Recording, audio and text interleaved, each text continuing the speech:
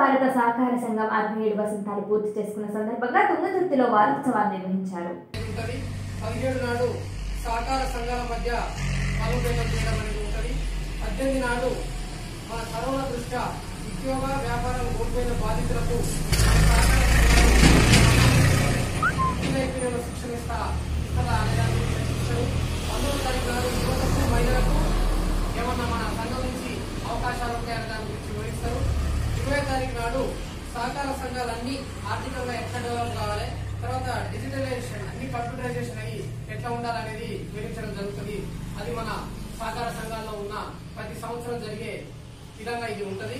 అయితే మనకు మాత్రం పదిహేను నాడు ఈ రోజు ఇచ్చిన మనకు చెప్పలేదు సహకార పదిహేను నాడు సహకార మార్కెటింగ్ అనేది మనకు మన సంస్థకి ఇచ్చారు మన మనకు కేటాయించారు వాస్తవంగా ఈ రోజు మనకు జిల్లా నుంచి విధిగా మనం మన సహకార సంఘం ఏర్పడ్డ కానించి రైతులకు ఇక్కడ మనం ఎరువులు అవన్నీ మార్కెట్ ద్వారా చేస్తున్నాం ఎరువులు యూరియా డిఏపి పొటాషియం తర్వాత సూపర్ ఇవన్నీ తెచ్చి రైతులకు సకాలంలో మనం అందజేస్తున్నాం.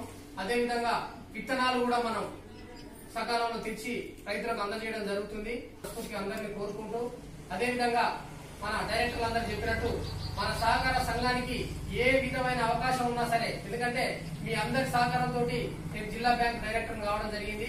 జిల్లా బ్యాంక్లో ఏ విధంగా అయితే సహకార సంఘాలకు నిధులు వస్తాయో అన్నిటికంటే ఎక్కువ మన సహకార సంఘాన్ని తీసుకురావడానికి కృషి చేస్తాం.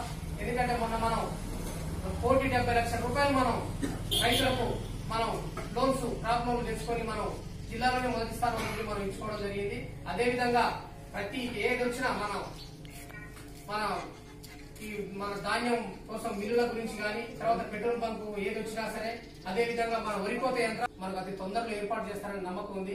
అప్పుడు మనకు వాళ్ళు వాళ్ళ కనుక ఐదు ఎకరాల భూమి కేటాయిస్తే మనమే గోడౌన్ నిర్మించుకోవచ్చు మన కొట్ల కొనుగోలు కేంద్రం మనం అందులోనే పెట్టుకోవచ్చు మన బిల్డింగ్ కూడా అందులోనే మనం సొంత బిల్డింగ్ నిర్మించుకొని మన సహకార సంఘాన్ని ఇంకా ముందుకు తీసుకుపోవచ్చు. అది అతి త్వరలో జరుగుతుందని ఆశిద్దాం.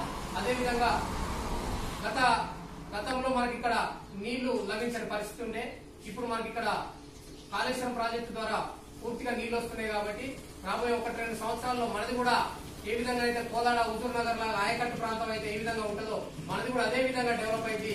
అప్పుడు మన సంఘం కూడా అక్కడ ఉన్న ఇప్పుడు అక్కడి సంఘాలు ఎట్లయితే డెవలప్ అయి ఉన్నాయో అదే విధంగా మనది కూడా సంఘాలు రాబోయే ఒకటి రెండు సంవత్సరాల్లో పూర్తిగా డెవలప్ అయితే దానికి మనందరి డైరెక్టర్లని మనందరి కృషి ఉండాలని రైతుల యొక్క సహాయ సహకారం ఉండాలని మనస్ఫూర్తిగా కోరుకుంటూ ఈ కార్యక్రమానికి ఇచ్చేసిన ప్రతి ఒక్కరికి పేరు పేరున ధన్యవాదాలు తెలియజేస్తున్నాను.